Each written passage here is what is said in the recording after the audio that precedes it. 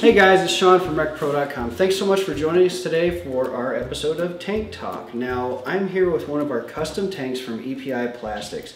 Now, EPI Plastics, or Elkhart Plastics Inc., is one of the leading tank manufacturers for freshwater and blackwater tanks in the entire country, if not the world.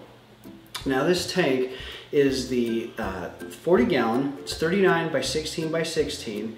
Its part number is 1562 and this tank is good for either fresh water or gray water for either your RV or food truck or possibly concession stand.